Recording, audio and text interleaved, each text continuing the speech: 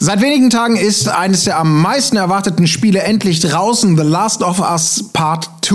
Und was kann man sagen? Es polarisiert mega. Die aller, allermeisten Kritiker feiern das als ultimatives Meisterwerk ab. Sehr viele Zocker oder zumindest Leute, die Review-Scores gegeben haben, sind aber anderer Meinung und strafen das Ding richtig höllisch ab. Warum das so ist und was wir davon halten, das erfahrt ihr in der heutigen Ausgabe des Montags.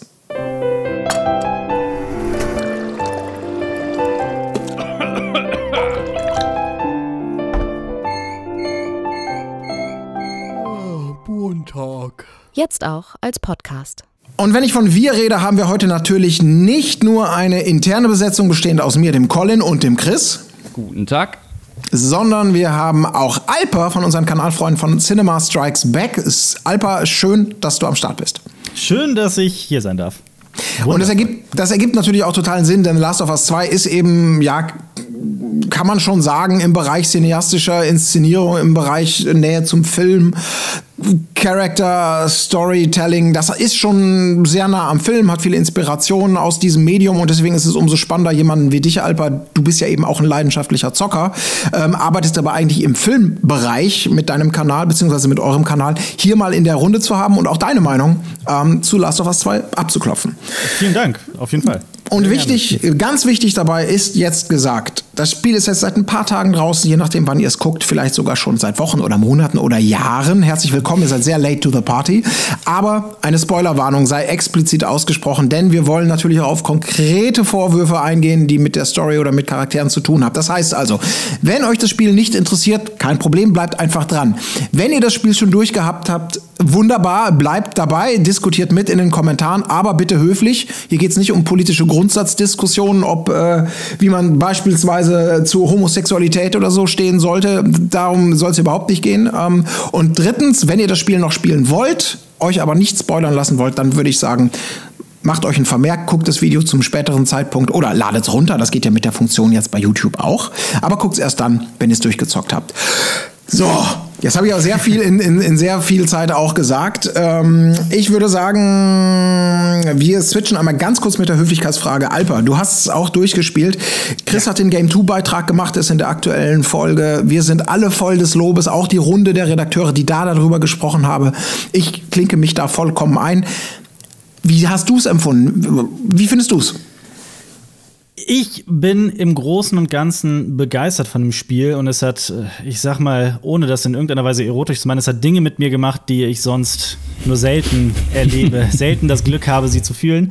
Ähm, ich stimme allerdings auch vielen Kritikern gerade, also von den, von den Nutzern selbst, äh, zu. Es gibt Marke an dem Spiel, Schwächen, gerade im Narrativen. Ähm, was ich allerdings anders sehe, ist die Gewichtung des Ganzen. Also viele nehmen sich tatsächlich diese Schwächen raus und viele auch Wochen bevor das Spiel überhaupt erschienen ist, bevor sie überhaupt was dazu sagen konnten und verzerren das Ganze und gewichten das so, als wäre das ganze Spiel dadurch eine Katastrophe. Und dem stimme ich halt nicht zu. Ich sehe ein, dass das Spiel nicht perfekt ist und ich finde persönlich zum Beispiel auch, dass es äh, nicht ganz so gut ist wie der Vorgänger. Ähm, Im Großen und Ganzen hat mir das Spiel aber nicht nur große Freude bereitet, sondern mich auch an den Fernseher gefesselt wie kein zweites. Also ich bin auch im Großen und Ganzen da ganz bei euch. Wunderbar. Dann würde ich sagen, hätten wir die Basis mal geklärt. Also wir haben es alle durch, äh, deswegen wir können uns gegenseitig hier nichts mehr versauen an dieser Stelle. Chris, ich übergebe mal an dich. Was ist denn so? Ähm, wir haben, ich habe es schon eingangs gewählt und Alpa hat gerade auch nochmal gesagt, der wird hart und krass kritisiert teilweise. Mm, was ist denn so ein Teil der Kritik? Was geht den Leuten am meisten auf, die, auf den Zeiger? Ähm, es wird unfassbar viel kritisiert, aber ich möchte noch eine Sache vorher ergänzend sagen.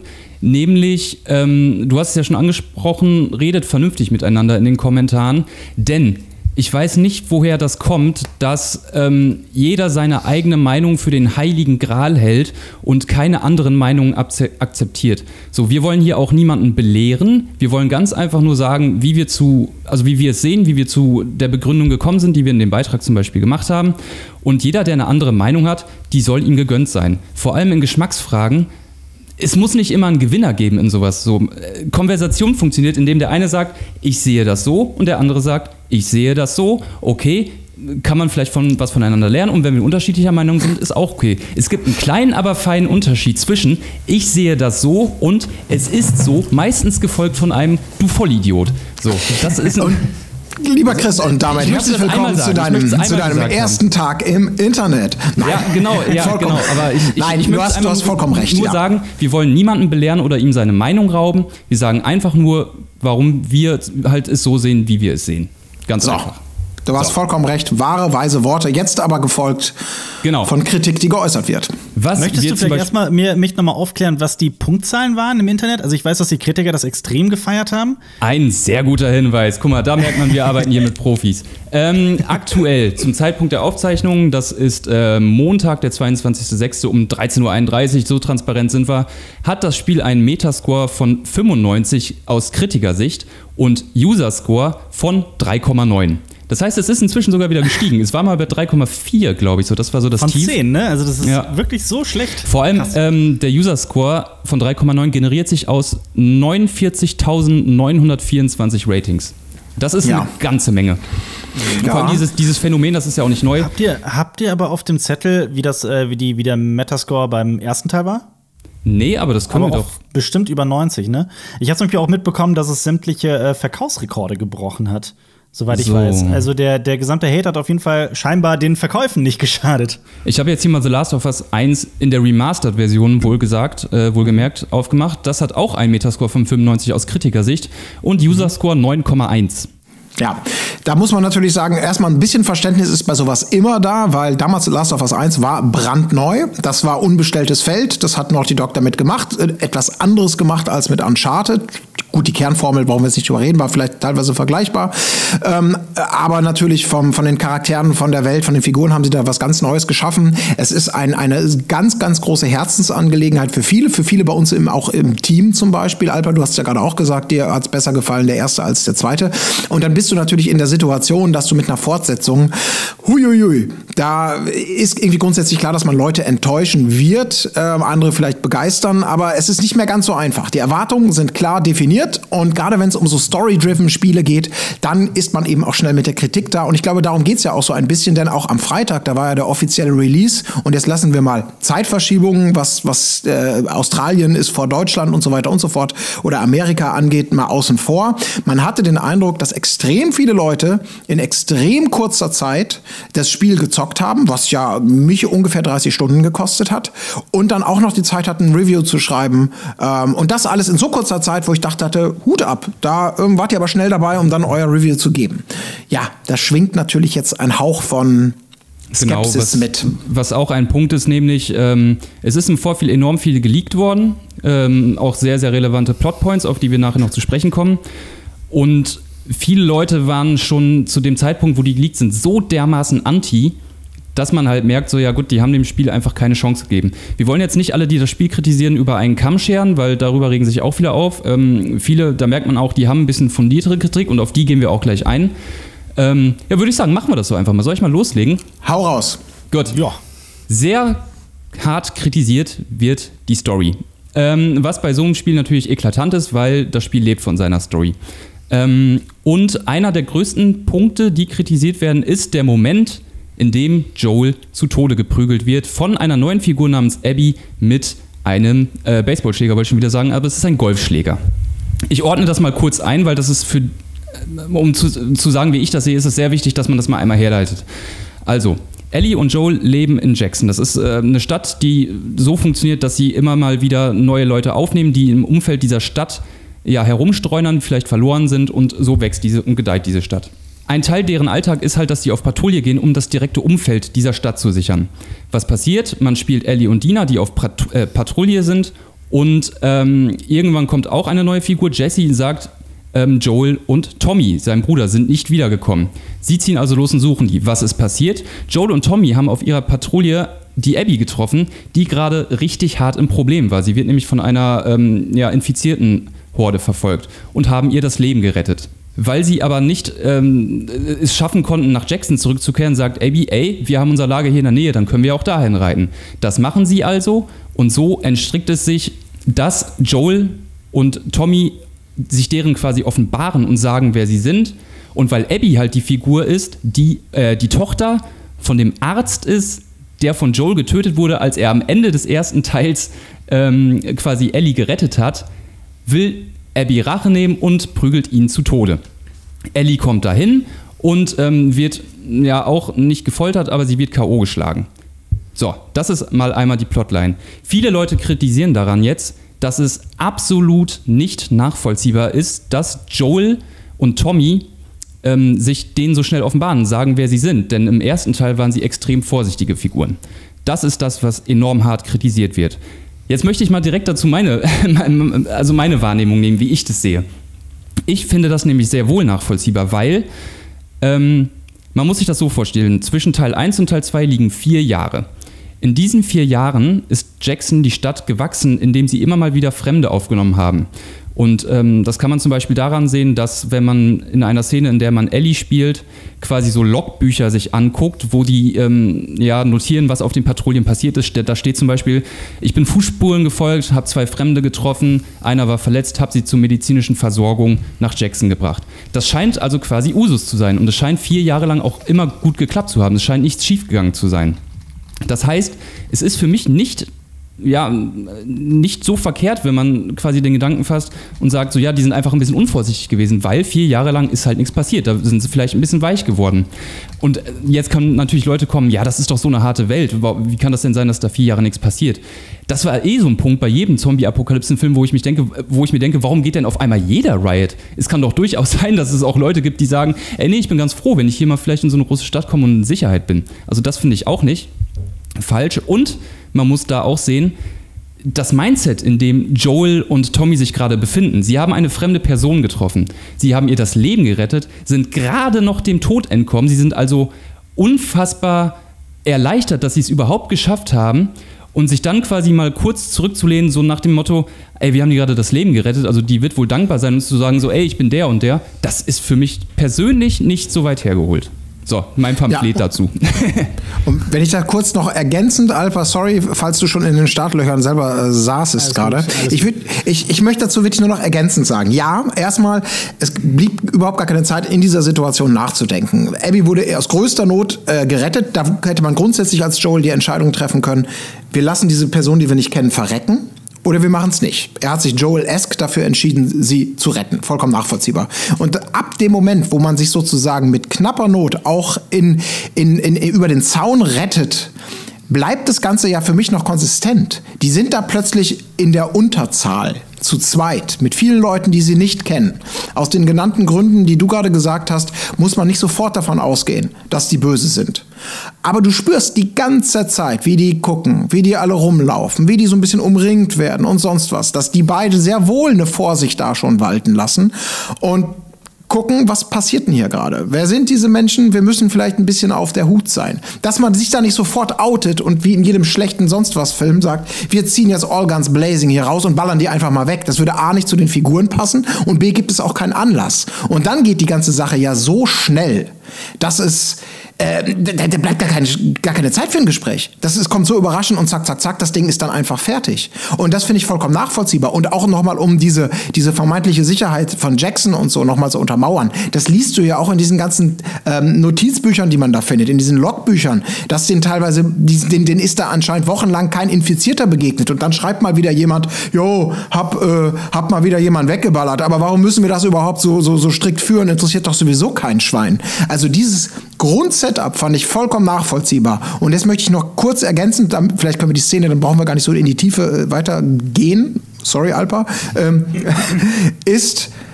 Ellie wurde ja auch kritisiert für ihr Verhalten, dass sie nicht einfach außen steht und vielleicht erstmal in aller Ruhe scoutet und erstmal erstmal genau guckt, was ist denn da gerade los. Ey, Leute, das ist ihre Vaterfigur.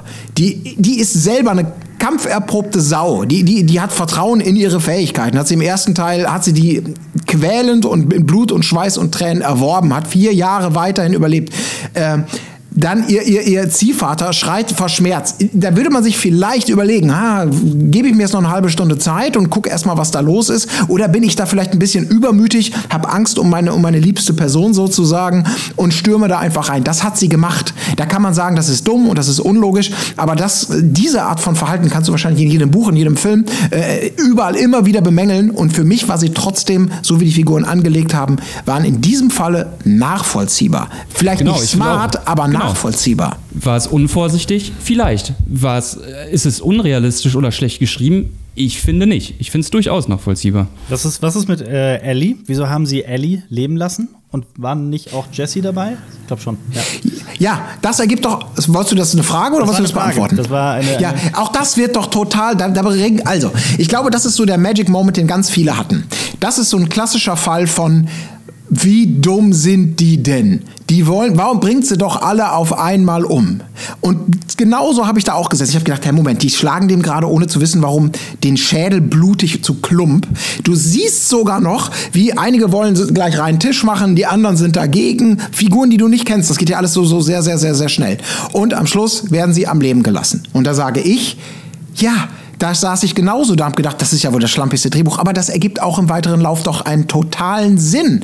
Wir erkennen ja schon in dieser Wolves-Gruppe, dass es, also in dieser Szene, dass es Menschen gibt, dass es da böse Menschen gibt, in Anführungsstrichen, oder Leute, die sehr der Gewalt zugetan sind und, oder übervorsichtig, wie auch immer, dass es relativierende Menschen gibt, den Owen zum Beispiel. Alles, was den Owen ausmacht, in den Rückblicken und in dem weiteren, ist da ja schon angelegt. Der ist derjenige, der zurückhält, weil er anscheinend, das sehen wir hinterher auch in tausend Rückblicken und da, wie er am Schluss sozusagen auch versucht, ein alternatives Leben aufzustellen, der halt sagt, ich will diesen Pfad irgendwie verlassen. Ich will so etwas wie Normalität haben. Ich, und dafür muss ich mich von der Gruppe zurückziehen.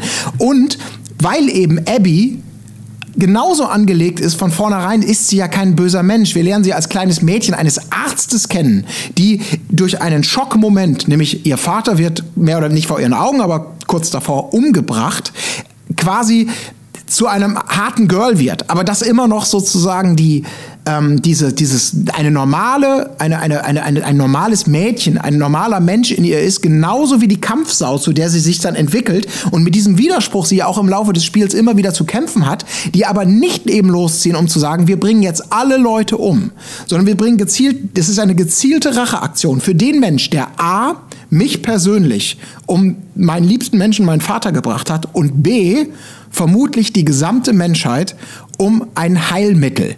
Und da geht es nur darum, diese Person dafür zur Rechenschaft zu ziehen und nicht zu sagen, wir machen das große Massaker. Wäre vielleicht smart gewesen, aber im Verlauf des Spiels, finde ich, wird das alles nachvollziehbar erklärt. Genau das ist es. Für mich. ist es nämlich, äh, der, der Tod von Joel hat sich für mich ganz organisch und ganz natürlich aus dem ersten Teil heraus entwickelt. Und deswegen konnte ich dieses gesamte Spiel so akzeptieren. Joel hat nun mal der gesamten Menschheit den Rücken zugekehrt und dadurch war für mich diese Racheaktion, auch wenn es nicht unbedingt die Tochter von dem, von dem Chirurg gewesen wäre, von dem, von dem Mediziner, ähm, war es für mich klar, ganz logisch, dass es irgendwann passieren wird.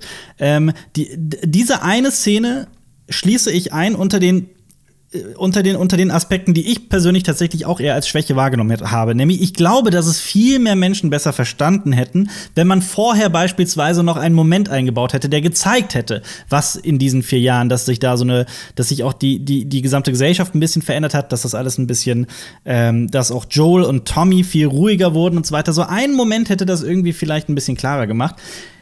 Jetzt, wo ich das alles gesagt habe, war es trotzdem für mich so, dass es diese eine Szene war und äh, direkt danach ging es für mich stundenlang im, im, im Spielehimmel weiter. Also das, das Ja. meine ich damit. Dieser eine Moment wird vielleicht sogar zu einem Stück weit auch meiner Meinung nach zu Recht kritisiert, aber es wird so aufgebaut, also so zu diesem riesen Ding gemacht und das kann ich halt nicht so ganz nachvollziehen.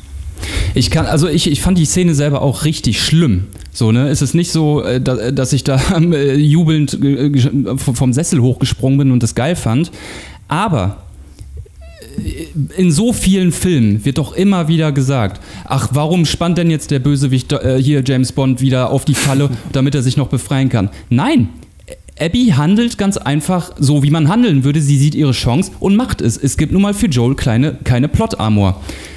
Man kann also sagen, so, äh, auch man, ich finde es schade, dass sie mir meinen liebsten Charakter geklaut hat, aber man kann meiner Meinung nach deswegen nicht sagen, dass wie es ist schlecht geschrieben ist, sondern man kann die Tatsache schlimm und traurig und, und äh, man kann sagen, mir persönlich gefällt es nicht, ich möchte Joel haben, aber für mich hat da natürlich auch Naughty Dog die Hoheit, mit ihren Figuren zu machen, was will und ich finde es sogar mutig. Ich finde es sehr, sehr mutig, das zu machen. Ich hatte, ich hatte genau aber in der Szene dann auch die Befürchtung, beziehungsweise den Gedanken, okay, wenn es sich jetzt wirklich nur auf diesen einen Aspekt der Rache beschränkt, wenn es nicht mehr ist, dann wäre das ganz schön dürftig. Aber ich persönlich bin halt der Meinung, und was, das, ist, das ist eigentlich, ähm, oder sagen wir es mal so, Naughty Dog hat dann zum Glück das Händchen dafür bewiesen, beziehungsweise Neil Druckmann und Hallie Gross, die das geschrieben haben, dass ähm, daraus viel mehr zu machen. Also nicht nur über die gesamte Natur der Rache, sondern auch über diese Welt so viel mehr zu erzählen und auch über diese ganzen neuen Fraktionen, diese ganzen neuen Geschichten da, da einzubauen, die mich äh, persönlich allesamt mitgenommen haben. Denn plötzlich spielen auch so Themen wie religiöser Fanatismus und ähm,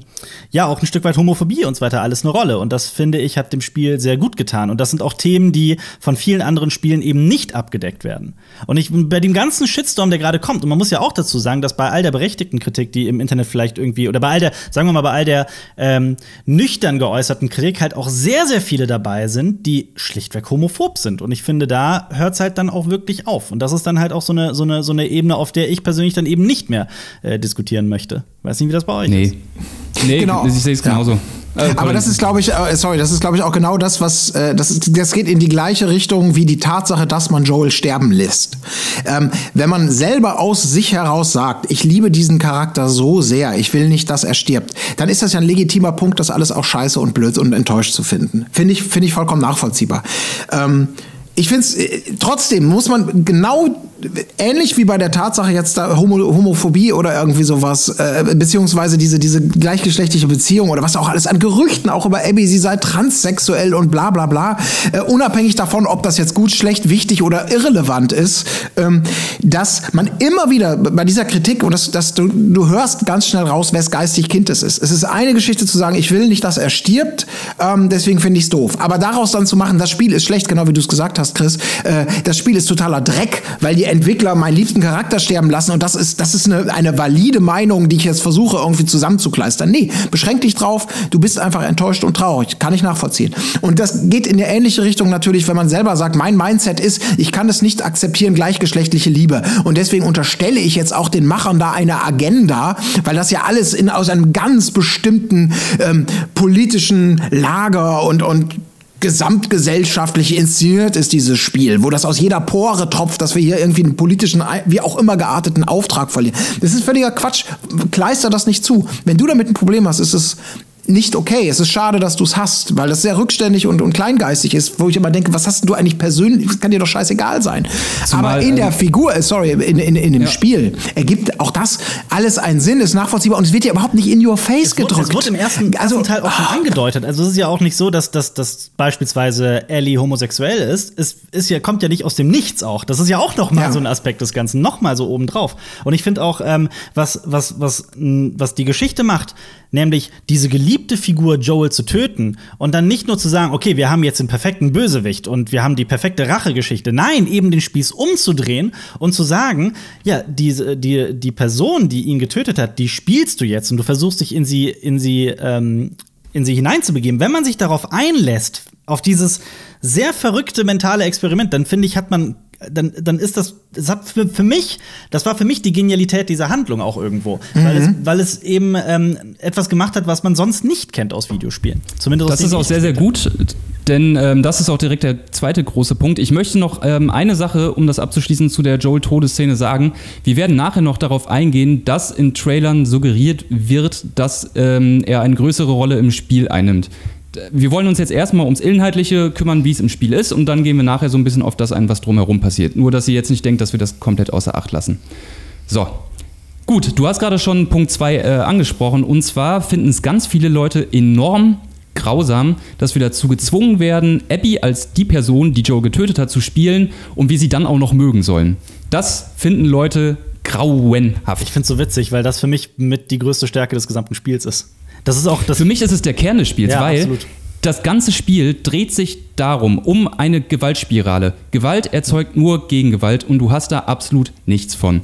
Ähm, das Spiel sagt quasi, was du oder was Personen als Gerechtigkeit empfinden, ist eine Frage der Perspektive. Und ich finde, dieses Spiel zeichnet das sehr, sehr gut. Und diese Gewaltspirale aus Gewalt und Gegengewalt, die mündet im Ende für mich in einem wunderschönen Bild. Nämlich, was hat Ellie davon, dass sie ein zweites Mal losgezogen ist? Wir kommen gleich nochmal genau aufs Ende zu sprechen.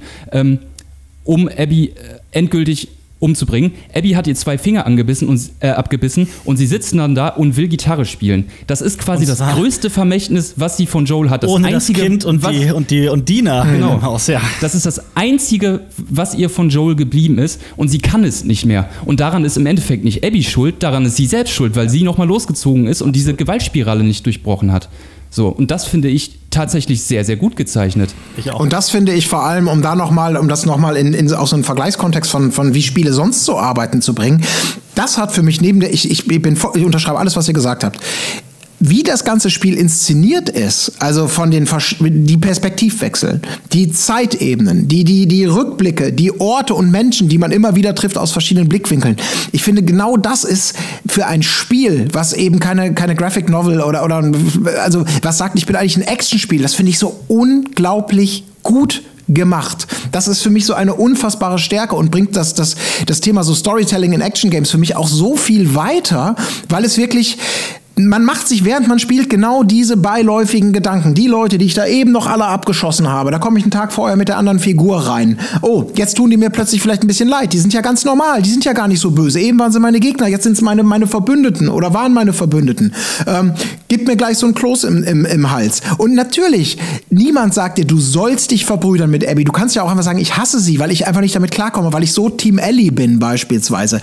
Aber das passiert ja schleichend. Ich hasse teilweise Abby zu spielen. Ja, und ich finde auch, ich muss nee, auch ich hab's überhaupt nicht. Ja, ja. Ja, also, ne, also nicht, also nicht, ich weiß, was du meinst, im ja. Sinne von, ich fand's scheiße, sondern äh, ich, ich habe mich innerlich, wollte ich, dass, dass, dass Ellie gewinnt. Aber ich möchte noch einmal dazu sagen, um bei dir anzuschließen, man muss das nicht gut finden, was die beiden machen. Diese Hassspirale und Gewaltspirale ist schlimm. Und ich finde auch, dass beide super egoistisch handeln. Sie, sie haben, die haben Scheuklappen auf, die sehen nichts mehr außer ihr Ziel. Muss man das gut finden? Nein, überhaupt nicht. Ja. Finde ich, und, dass es schlecht geschrieben ist? Nein. Und genau da setze ich jetzt sogar mal an. Es war genau das Richtige. Ich habe es gehasst. Wie ihr wahrscheinlich auch. Ich habe es gehasst, als Abby in dem Theater ist und dann äh, hinter, hinter Ellie herschleicht. Ja? Also, Moment meinte ja, ich, genau. Ich habe es auch gehasst, wie jeder von uns. Ich, ja. Aber Warum hasst man es? Weil man einerseits diesen Charakter Ellie, die in jedem Spiel kennen wir das, das ist die Protagonistin, das ist der Held, der passiert entweder nichts oder der passiert alles oder wie auch immer. Lass was geht da weiter als Tomb Raider, wenn es darum geht, wie, wie sehr man mit ähm, Empathie für, für, für Ellie und ihr Schicksal im Gegensatz zu Lara Croft oder so empfindet. Klar, das ist alles geschenkt. Und du hast es, dass du dazu gezwungen wirst, weil du natürlich vorher, aber du hast auch natürlich ein gewisses Verständnis dafür, weil du mit Abby halt viel, viel erlebt hast. Und du hast erlebt, wie mit einer, wo du vorher vielleicht noch selber gesagt hast, mit welcher Beiläufigkeit ballert die denn einfach Jesse weg? Und dann switchst du die Seite und sagst plötzlich, boah, mit welcher Beiläufigkeit einfach der Owen, ihre heimliche Liebe, umgebracht wurde. Und, und die, ähm, die, die, die schwangere äh, Freundin von ihm. Das passiert mit, alles mit der gleichen Beiläufigkeit. Und natürlich, wenn man nur versucht, sich in diesen Charakter hineinzuversetzen, versteht man plötzlich alles klar. Ich habe nur noch das Ziel, diese, diese widerliche Schlachtmeisterin umzubringen, deren Plan ich vorher gesehen habe, wo sie wann hingehen will, um die Leute systematisch umzubringen. Wo man natürlich noch dachte, das wäre wär, wär ein Typ oder wie auch immer. Und äh, ähm, und das, jetzt komme ich noch zu, zu, dem, zu dem Punkt, ich weiß nicht, wann ihr das hattet, aber bei mir war irgendwann nämlich wirklich der Punkt erreicht, und das Spiel lässt dich ja nicht los. Das Spiel gibt dir nicht, du kannst natürlich sagen, ich höre jetzt auf zu zocken. Aber bei mir war davor schon der Punkt erreicht, wo ich dachte, ich will nicht mehr. Ich will jetzt als Spieler aus dieser scheiß Gewaltspirale raus. Ich will jetzt einfach, dass die sich unglaubwürdig natürlich die Hand reichen und sagen, oh, wir haben Verständnis füreinander und gehen unserer Wege. Ich will das alles nicht. Ich will nicht, dass Ellie noch mal loszieht. Ich, ich kann es nicht mehr ertragen. Und genau deswegen kriegt sie ewige, ja vor allem, weil die Abby natürlich komplett in der Opferrolle. Genau. Und das ist, das macht es man muss sie nicht mögen, aber so ist das halt mit spannenden Figuren. Die sind halt ambivalent und nur weil man sagt, das ist nicht mehr meine Ellie, oder, ach, ich weiß es nicht. Mhm. Ich, ich kann es gar nicht besser fassen, aber ich finde, das ist so gut, weil es mhm. dich eben als aktiv Handelnden in Sachen reinzwängt, in die dich andere Spiele nicht zwängen. Und ich finde das super stark. Ich finde es mutig. Mit eine, mir auch was aber um nochmal eine etwas kritischere Seite anzuschlagen. ähm, oi, oi, oi. ich finde ich find nämlich genau den, den, den Punkt, den du da genannt hast, Colin, das war auch für mich ein Zeitpunkt, an dem das Spiel wieder bei mir komplett so auf, auf, genial geschwungen ist. Ich muss allerdings dazu sagen, dass ich davor mehrere Male gedacht habe, okay, ich bin gar nicht mehr so weit weg vom Ende. Ich finde nämlich schon, dass zum Beispiel der Teil von Abby sich hin und wieder ein bisschen zieht. Da gab es so ein paar Twists und Wendungen, die einfach zu viel waren. So, ich fand ja. die nicht unbedingt notwendig. Äh, aber ansonsten bin ich da auch komplett bei dir. Und ich habe auch ähm, einfach gemerkt, dadurch, dass eben auch die Handlung so in, in sich äh, so lang abspielt, ich habe mich komplett in die Figur Dina verliebt. Und ich habe das ähm, ich hätte das gar nicht so für möglich gehalten. Ich fand es auch ein absolut genialer Moment in der Handlung, der, das, die, ähm, der dieses Spiel auch von anderen Spielen abhebt, ist, als sie im Schneesturm sind und ähm, Ellie reitet und Dina vorreitet und dann plötzlich weg ist und man sie sucht. Und eigentlich denkt man, und das wäre auch klassisch für eine klassisch erzählte Videospielgeschichte, dass äh, sich dann da die nächste Katastrophe abspielt. Aber nein, sie findet Dina wieder und Dina ist dann mitten in diesem Schneesturm im Nirgendwo halt die Rettung. Ähm, und ich glaube, das war auch so der, das war für mich so ein ganz, ganz, ganz magischer Moment. Mhm. Auf jeden Fall. Ah, ja. Ja, ja, absolut. Aber das ist, finde ich, das macht das Spiel auch wirklich geil, weil äh, das, das, das, macht, das, ja genau, diese Momente und auch überhaupt diese, die Figuren, äh, wo ja extrem viele, viele Schichten von, von, von Tiefe oder was du da selber vielleicht auch einfach nur ähm, rein interpretierst, weil es gar nicht so in your face gesagt wird. Es ist ja in den seltensten Fällen mal und wie das einfach in guten Serien oder Filmen heutzutage auch der Fall ist, dass die Leute knallhart irgendwie was sagen, wonach man sagt, du bist ein Vollidiot oder du bist der beste Mensch der Welt. Auch in dieser Beziehung nicht. Da gibt's nicht diese, äh, die ganzen Klischeefallen, die werden fast, finde ich, für alle vermieden. Auch so diese Figur Owen zum Beispiel. Da wird so viel angedeutet über ihn, wo er herkommt und wie er sich entwickelt hat und was er eigentlich will, ohne dass so ganz viel gesagt wird. So viel passiert einfach so dazwischen, in dem, was man da so beiläufig mitbekommt. Und das finde ich, das macht so gute Charaktere einfach aus, dass sie denen noch ganz viel Luft zum Atmen geben und nicht dieses, der ist, der ist jetzt plötzlich der Jesus der da ausbricht und denkt, oh. Du sprichst ja über eine riesige Kunst, das Dialogschreiben. Ja, also wenn man, genau. wenn man ähm, sich irgendwie ein bisschen weiterbilden möchte, was Dialogschreiben angeht in Film und Serie, dann äh, ist auch so mit das Erste, was man sofort lernt, ist in dem Moment, in dem eine Figur das sagt, was sie denkt und was sie meint und was sie möchte, dann hat dein Dialog schon versagt. Weil ähm, das eben nur so funktioniert, wenn ein Dialog äh, mehrschichtig ist und Figuren eben auch über Dinge sprechen, die für was anderes stehen. Ab da wird es eben interessant, sobald man zwischen den Zeilen lesen kann, sobald es einen doppelten Boden gibt. Genau, das fand ich zum Beispiel auch geil bei ähm, am Schluss nochmal. Ähm, Chris hat uns, glaube ich, gerade verlassen, aber der kommt bestimmt gleich wieder rein. Ähm, am Schluss die Stelle, wo, wo, wo einfach Ellie von ihrer Vergangenheit nicht los kann. Sie ist mit Dina im Haus und könnte sich jetzt für das schöne Leben entschieden, aber es geht nicht. Sie zieht nochmal los.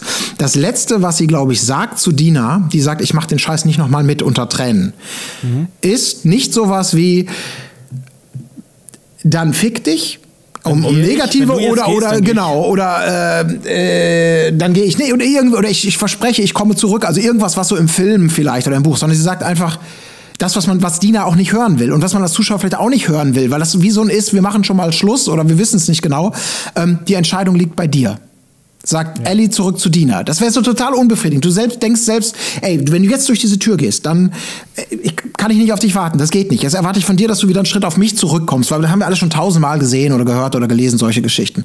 Und nein, sie sagt einfach, das liegt bei dir. Was irgendwie so ein, so ein, so ein, Schwebezustand dieser Beziehung dann irgendwie ist. Und ah, geil. Also so ein, so ein war für mich total wie, ja, wie, wie, und jetzt das liegt bei dir und ich weiß gar nicht genau, was jetzt passiert, mit wem und so. Sonst hätte ich, du brauchst nie wiederkommen, ich mache jetzt Schluss, ja, tschüss, ich reite schon mal weiter. Nee, das liegt bei dir und sie. Ich glaube, das war das allerletzte. Das fand ja. ich unglaublich so, ich, stark. Ich bin wieder da. Chris ist wieder da, fantastisch. Ich bin kurz rausgeflogen. Ja, und, und auch nochmal, auch weil ich gerade hier ähm, auch mit, mit so viel mit so flammendem Schwert der Leidenschaft über vieles rede. Ja, natürlich kann man bei dem Spiel auch extrem viel ankreiden und ja, äh, viele, so ein paar Wendungen und auch so in die Länge gezogene Geschichten ähm, hätten's, hätte es nicht gebraucht. Teilweise ist für mich dann auch der Spagat zwischen diesen, diesen ruhigeren und starken Momenten und dem, was das Spiel richtig gut macht, versus doch ein bisschen für mich übertrieben, eher mit ein bisschen mit Uncharted dann liebäugeln, Bombast, Super Action-Inszenierung mit mit Massenkämpfen fast schon. Äh, ja, so ein bisschen, wo das so ein bisschen kippt, wo ich mir denke, da, bei der Scars-Insel zum Beispiel zum Schluss, da hätten es auch einfach ein paar Schippen weniger sein können. Aber ja. Das führt uns sehr gut zum letzten Punkt, das ist nämlich ähm, das Ende an sich. So, wir haben die Situation, Ellie hat sich zurückgezogen auf einen Hof, fristet da ein gemütliches Dasein mit Dina.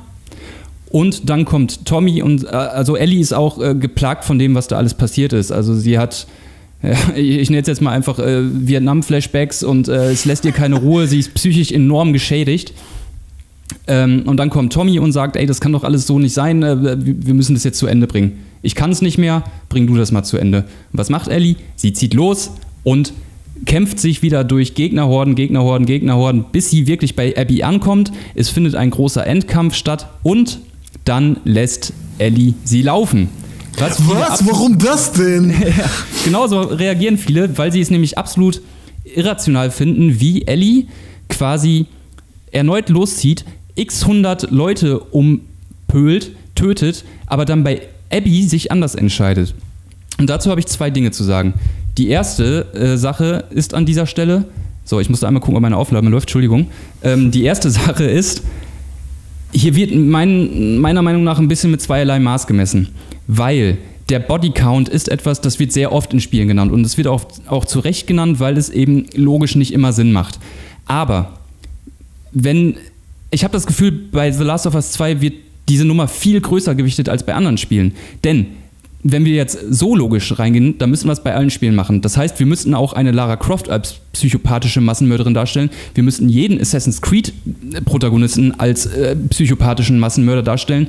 Dann muss man es schon überall machen. Das ist das Erste, was ich dazu zu sagen habe. Und das Zweite ist, ähm, ich finde es tatsächlich nicht unglaubwürdig, dass sie sie am Ende laufen lässt. Und das hat mehrere Gründe. Zum Ersten hat Abby an dieser Stelle Lev dabei. Und ich habe das Gefühl gehabt, dass sie in Abby und Lev Joel und sich selber sieht und sich denkt, ich durchbreche die Scheiße jetzt. So, ich, ich lasse es jetzt, ich lasse es jetzt einfach sein. Und sie hat ihre Rache quasi gekriegt. Sie hat sie zwar nicht getötet, aber sie hat sich wie an einem Boxsack abgearbeitet an Abby. Sie hat alles rausgelassen und ist ich hatte zum Beispiel eine kleine Anekdote. Ich habe aufgehört zu rauchen und ähm, letztens wollte ich unbedingt eine Kippe rauchen. Und ich war 100% der Überzeugung, du rauchst jetzt eine Kippe. Ich bin losgegangen, habe mir Kippen gekauft, hatte die Zigarette in der Hand, habe sie so zum Mund geführt und dann, fuck it, ich mach's nicht. Ich mach's nicht. Sehr so, unge so ungefähr stelle ich mir das da bei ihr vor. Sie wollte es unbedingt, natürlich, okay, das hat eine leicht andere Dimension. Das, das, ist, mir, das ist mir schon bewusst. Aber, aber das ist nur so ein Beispiel dafür. Also ich glaube, diese Momente kennt doch jeder, oder? Wo man Ja, natürlich, aber Ellie hat doch gerade im, im, im, Wasser den, den, den doch diesen einen Moment der Klarheit, wo es, es ist ja Genau, wirklich ja, so ein total, Moment der Klarheit. Es ist ja, es ist ja kein, kein toller Kampf zwischen zwei guten. Nein, das ist ja ein total deprimierender Kampf. Also ich meine, Mhm. man muss sich doch nur mal Abby angucken, wie sie da wochenlang an dem, an diesem Pfahl hing, ne, und eigentlich total fertig ist und ausgemagert. Und äh, es ist ja doch dieser eine Moment, in dem ja doch dann diese Figurenentwicklung stattfindet, wo es ist ja der Moment, es erzählt ja die Geschichte von einer völlig von Rache besessenen Frau, einem Mädchen, das dann doch noch zurückfindet, das den Weg rausfindet aus diesem, aus diesem, aus diesem Cycle of Violence, also eigentlich, was ist das auf Deutsch, aus diesem Kreis der Gewalt, aus diesem Strudel der Gewalt. Ähm, und wenn das nicht stattgefunden hätte, wenn Ellie sie einfach getötet hätte und das so geendet hätte, dann wäre es halt wirklich, dann wäre es für mich, dann hätte, dann wäre die gesamte Handlung für mich umsonst gewesen, für die Katz. Denn was hätte es dann am Ende erzählt? Und ich fand es halt genauso wie du. Ich fand es nachvollziehbar. Es war eben dieser eine Moment, in dem alles zusammenkam, dieses ganze Elend, dieser gesamte, dieses, dieses gesamte morbide, düstere. Und das war notwendig, um Ellie von ihrer Rachsucht zu, zu, zu lösen. Genau. Und dieser eine, dieser, dieses, auch dieses letzte Bild, was sie dann ja sozusagen von Joel nochmal suggeriert bekommt, mit der Gitarre da sitzend und nicht diese blutende Fresse, das zeigt dann ja auch nochmal genau diesen, irgendwie diesen, diesen Switch oder diesen Wandel, der da passiert ist. Und trotzdem, wenn es scheiße geschrieben wäre, das muss ich jetzt auch nochmal sagen, nach dieser Szene, wenn sie dann nach Hause gekommen wäre und, und Dina würde da stehen mit einem gebackenen Kuchen und der Junge bringt ihr Blumen, dann wäre das wieder so dieses, seht ihr, liebe Kinder? Gewalt ist keine Lösung. Entscheidet euch richtig. Dann wird, dann wird hier so ein klassische, Mora man hat ja manchmal dieses Bedürfnis nach so einer, nach so einer moralischen Einordnung, die einem Kunstwerk oder so auch bietet. Das ist richtig, Ey, das ist falsch. ist halt kein Disney-Stoff. Genau. Genau. Und die kommt aber nach, und die ist, wie, wie, wie ganz am Anfang Chris sagte, mit der Gitarre, vom, das, das, das nur noch trümmerhaft kann sie da spielen. Ähm, ihr Zimmer ist da, keine Ahnung, wie es da weitergehen soll. Es gibt hier einfach keine Belohnung äh, für das Fall. Also weder für das eine, für das noch für das andere. Wahrscheinlich für das andere hätte es noch weniger Belohnung gegeben. Äh, weil dann, dann, äh, ja, dann, dann wäre sie komplett durchge komplett gesnappt, sag ich jetzt mal geistig. Genau, und das ist, es ist halt, es ist, es ist hart, es ist düster, es ist traurig, es ist depressiv. Alles ist, all diese Sachen sind es. es äh, ne? Und wenn man eben diese Figuren liebt und sich wünscht, dass äh, diese Figuren ein Happy End kriegen, dann, dann, dann darf man das äh, persönlich scheiße finden. Aber ist es schlecht geschrieben? Das finde ich, Ich eben finde nicht. es bitter süß. Also ich hatte ja auch die Sorge, dass, dass Ellie selbst ihren Tod finden wird, dass sie bestraft wird, dass es eine Art Bestrafungsplot wird, dass sie für ihre Rachsucht bestraft wird. Ähm, wird sie ja auch in, einem gewissen, in einer gewissen Weise, aber eben nicht mit dem Tod. Und ich fand genau das einen sehr schönen Mittelweg. Also ich persönlich fand es bitter süß. Ähm, auch all die Dinge, die du genannt hast, all die Adjektive, die du gerade äh, äh, genommen hast für das Spiel, viele betrachten das ja als eine Schwäche des Spiels, dass es zu deprimierend ist, dass es zu, äh, zu krass Das ist. haben die zu Figuren hart, nicht zu verdient, brutal, zum zu Beispiel, provozierend. ja. Das haben die Figuren nicht verdient. Und ich finde es ich find's so verrückt, weil genau das hat mich zu diesem Spiel gezogen. Ja, Also geht mir absolut so. Es, es, es mag vielleicht so eine, eine tief verwurzeltes Wünschen nach, nach, nach Happy End oder weil einfach in Videospielen halt konventionell ein bisschen harmloser erzählt wird, als es vielleicht in Filmen oder Serien so ist. Ich meine, ich erinnere mich damals dran. Game of Thrones, ich habe es erst gelesen, bevor ich, also gelesen weit bevor die Serie dann soweit war. Ähm, das war das dritte Band, Bluthochzeit. Ich war ja. sauer. Ich habe echt gesagt, ich verbrenne das Buch, ich habe keinen Bock mehr auf die Scheiße. Da musste ich mich erstmal sammeln. Und das erste Mal, dass mir ein Buch aus der Hand gefallen ist. Ja, und das ist doch, ich meine, ganz ehrlich, das, das bei uns älteren Säcken, sag ich mal, ihr seid ja noch jung, aber ich, das ist doch, wenn ein, ein, ein, ein Kunstwerk sowas schafft, also so, dir so äh, solche Affekte in dir auszulösen, solche Emotionen, dann ist das doch, ist das doch unglaublich stark. Und selbst wenn man sich darüber ärgert bei, bei Last of Us, dann zeigt das ja trotzdem nur, dass sie irgendwas richtig gemacht haben. Das darf ja auch polarisieren. Aber das, was es halt nicht ist, ob man das jetzt gut oder schlecht findet, ist, beiläufig, wegkonsumierbar und ist mir doch alles scheißegal. Kann man auch, genau. so kann man es auch spielen. Aber das ist doch toll, wie ein das genau aufreibt. Das ist doch. Genau ja. das ist es doch. Es ist doch kein Spiel, bei dem du in einem Jahr sagen wirst, ach stimmt, das habe ich ja auch durchgespielt. Nein, eben nicht. Ja. Es ist, man, man, man vergisst es nicht, man erinnert sich daran. Ich habe das ganz oft bei Spielen, dass ich mich daran erinnere, dass ich die zum Beispiel auf irgendeiner Plattform sehe und mir denke, hä, habe ich das nicht schon gespielt? Ach ja, habe ich ja vor zwei Jahren gespielt. Das wird mit The Last of Us 2 hundertprozentig nicht passieren. Auf jeden Fall. Ja, vor allem, ich, ich finde auch, ähm, es, es, es wird ja irgendwie äh, ganz oft angemerkt, dass man nicht mit Abby mitfühlen kann. Und ich, es ist natürlich logisch, dass es deutlich schwerer ist, eine, eine Figur sympathisch erscheinen zu lassen, wenn man sie in dem Spiel erst einführt, als zwei Figuren, die als quasi die Blaupause des guten Character Writings überhaupt im Videospielbereich gelten, die vorher schon ein ganzes Spiel gekriegt haben. Das ist unfassbar schwer. So, ja. ne? Und ich, ich finde, diese Mammutaufgabe haben die Absolut. ziemlich gut gelöst. Total. Und deswegen ja. muss sie ja auch ein bisschen mehr bekommen und ein bisschen früher ihren Change of Heart bekommen und so weiter und bla bla bla. Das ist doch genau, das ist ja auch notwendig.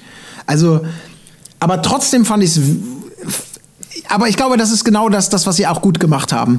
Ähm, ganz am Anfang, in der allerersten Szene, wo man sie sieht, wo sie aufwacht vom Close-Up. Chris, wir hatten ja schon mal drüber gesprochen. Ja. Da haben wir beide kurz gedacht, ist das jetzt Ellie? Weil kurz davor war ja. Ellie zu sehen. Ist das jetzt ein Zeitsprung? Das ist Ellie, die ein bisschen verhärmter aussieht.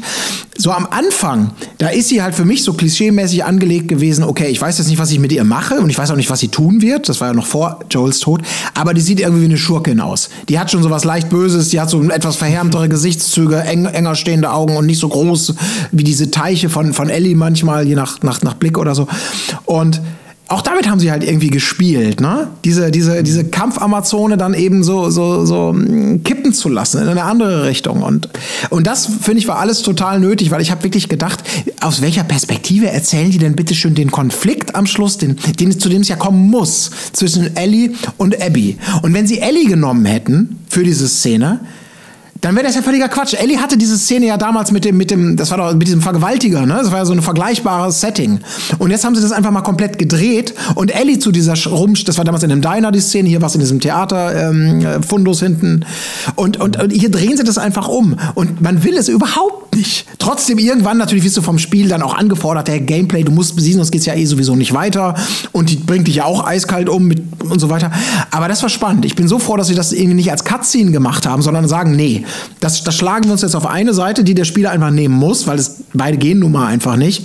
Und ja, das muss dann halt auch irgendwie Abby sein, weil sonst, ja. glaube ich, wäre die Wirkung da auch, wenn es Ellie gewesen wäre, sehr stark verpufft. Ja, dann lass uns da mal zum äh, Story-technisch zum Ende kommen. Es gibt noch ein paar Punkte mehr, die da kritisiert werden, zum Beispiel wenn Abby da schon am Pfahl hängt, warum killt Ellie sie nicht direkt so, ja, weil sie halt selbst Rache nehmen will, ist meine Meinung. Also, ne, das sind so für mich, ein bisschen, das klingt ein bisschen an den Haaren herbeigezogen aus meinen Ohren, äh, aus meinen Augen, aus meinen Ohren. Es klingt aus meinen Ohren, ja. Ja, es wäre es wär, es wär halt aber auch keine Rache dann. Ja, eben, deswegen. Abschlachten, das, ja. ja. ja. Ähm, genau, und also, was viele Leute sagen, so nach dem Motto, es ist das The Last Jedi der Videospiele. Ja, gut, wenn man also wenn man wirklich mit dem Mindset daran geht, ich möchte ein Spiel mit Joel und Ellie haben und alles andere akzeptiere ich nicht und lasse mich da überhaupt nicht drauf ein. Ja. Gut, dann kann man zu diesem Ergebnis kommen, aber ich finde, man sollte sich darauf einlassen und dem Spiel überhaupt die Chance geben, die Geschichte zu erzählen, die es erzählen will. Und nicht direkt einfach abblocken und, und sagen, so ist es und, nicht. Und deswegen glaube ich, dass dieser Leak, dass das vorher rausgekommen ist, dieses Spiel verflucht hat. Zumindest ja. in der, für die Es sagen auch ganz viele Leute zum Beispiel, ähm, dieses Spiel hätte super funktioniert, wenn das nicht Ellie und Joel, sondern äh, irgendwelche Charaktere aus der Welt gewesen wären. Sagen ja. ganz viele Leute. Ja, das kannst du ja immer sagen, aber ich finde, das macht ja gerade die, das macht doch auch eine geile Vision aus, dass ja. du nicht so Figuren ja, genau. verwässern lässt, indem du sie jetzt ewig lang, die hätten ja auch einfach nur mal sicher gehen können und dann irgendwie, oh, sie ziehen wieder beide los, neue Gegner, neue Herausforderungen, wieder irgendeine moralische Entscheidung, vor die die gestellt werden. Nee, da wird einfach mal gesagt, wir bringen dieses Spiel halt nicht im Jahresrhythmus raus. Nach fünf Jahren geht's weiter, die Welt hat sich weitergedreht, genau wie unsere Welt auch und wir gehen mal in eine ganz andere Richtung. Das ist doch auch toll und das ist doch, finde ich, auch mutig und total sinnvoll. Und das funktioniert ja auch nur. Diese Fallhöhe kriegst du ja eben nur mit Figuren, die dir ans ja. Herz gewachsen sind. Mit irgendwelchen neuen, die du dann als Stellvertreter für die für negatives Handeln oder so dann da schnell einführst und erwartest, äh, wie du es gesagt hast mit Abby, äh, bei denen empfindet man irgendwie das Gleiche. Das ist doch Quatsch, das funktioniert nicht. Dafür brauchst du halt diese Leute, denen du nichts Böses wünschst, denen du alles Gute wünschst, damit du diese Fallhöhe überhaupt erst bekommst. Und das, ja. finde ich gut. Ich, ich, ich verstehe das halt auch nicht, dass alle das immer nur als Schockmomente bezeichnen. Ja. Weil sie, ja, die entwickeln sich organisch und egal. Ja, gut, sorry, kommen wir zum nächsten Punkt. Ähm, viele Leute kritisieren, dass sich das Spiel überhaupt nicht spielmechanisch weiterentwickelt hat. Die Spielmechanik sei Dreck aus der Hölle, weil es genau dasselbe ist wie in Teil 1, weil das Ziel ungenau ist und weil ich mich ständig durch Lücken schieben muss oder eine Taste hämmern muss, um etwas zur Seite schieb zu schieben. Das ist für mich Game Design aus der Hölle. Was sagen wir denn dazu? Quicktime-Events sind halt. Es sind aber für mich ehrlich gesagt immer so eine Sache. Ich war nie ein Fan von Quicktime-Events.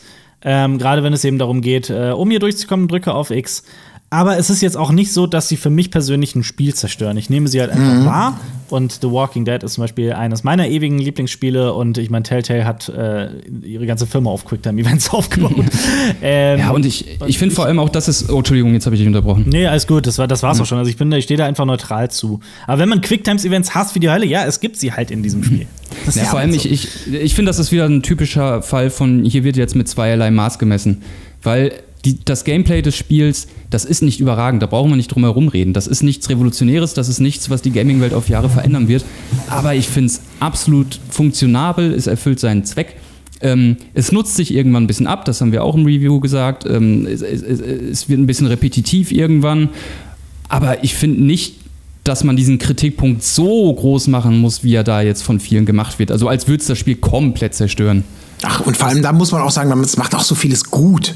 Also die KI, der, die haben immer mal Aussetzer, ja, geschenkt. Aber insgesamt ist das bietet das ein paar neue Stealth äh, Zutaten. Das, hat sich, das ist, die, die verhalten sich alle vernünftig und auch das ist ja trotzdem noch in sich geschlossen. Und ach, Sorry, ja, das habe ich gelesen im Internet. Ja. Klar, also es gibt natürlich Momente, in denen, äh, in denen ein Gegner sich etwas dumm verhält oder irgendwie in einem falschen Gang steht und so weiter falsch geht oder dich wirklich aus nächster Nähe nicht sieht.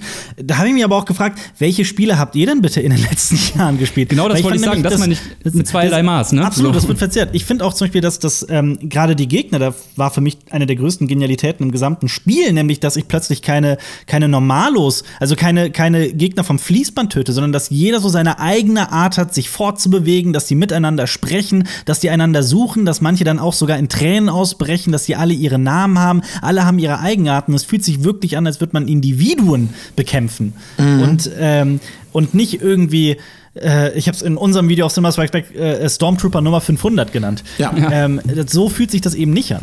Ja, das können wir jetzt ja. sehr gut zwei Punkte kombinieren, denn viele sagen auch, dass das Spiel zu brutal sei, was ja sehr nah mit dem, jede Figur hat zum Beispiel einen Namen äh, einhergeht, weil mich das emotional so gepackt hat. Aber ich finde, das hat der Elias bei uns im, im Review sehr schön gesagt, äh, nämlich erstmal ist es eine sehr individuelle Sache, wie man mit Gewalt umgeht.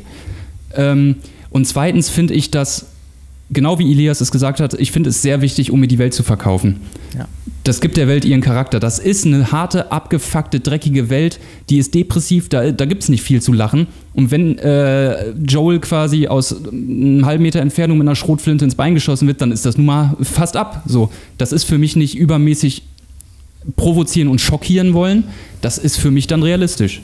Ja, und es passt ja auch dazu, ich meine, wie viele, also super häufig kommentiert ja zum Beispiel auch Ellie ihr eigenes Tun mit irgendwie äh, fick dich oder mit, mit irgendwie, und bei jedem, bei jedem, bei jedem Close-Up-Kill, den du machst, siehst du diesen verzerrten Gesichtsausdruck und du entscheidest entweder hacke ich ihm mit dem, mit dem Messer in den Hals oder, oder schieß ihm das Gesicht weg. Ähm, das das ist, dient ja natürlich auch alles so in, in diesen, in Anführungsstrichen, subtileren Momenten auch, diese, diese Rache noch zu untermauern, auch unbewusst beim Spieler, dass du halt, äh, dass du halt drin bist in diesem, ist mir scheißegal, ich bring die alle um, die haben es alle verdient. Die macht er ja eigentlich quasi fast, also nie Gefangene. Die kommentiert ja bis zum Ende das alles als, habt ihr verdient, du Schwein, hättest du nicht machen sollen, Arschloch, ähm, ist absolut kompromisslos und das passt ja auch zu der Figur so zu handeln. Abgesehen davon, dass es natürlich einen gewissen Sinn ergibt, Leute lieber umzubringen, als statt mit ihnen zu diskutieren in diesem Setting, sage ich jetzt mal. Also ich finde, das passte total dazu. Dieses, ja.